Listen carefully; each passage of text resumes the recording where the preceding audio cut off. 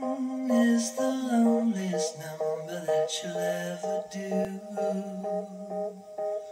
Two can be as bad as one. It's the loneliest number since the number one.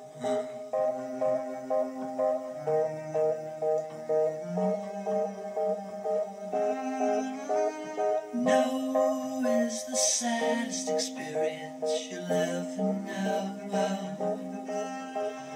Yes, it's the saddest experience you'll ever know. Because one is the loneliest number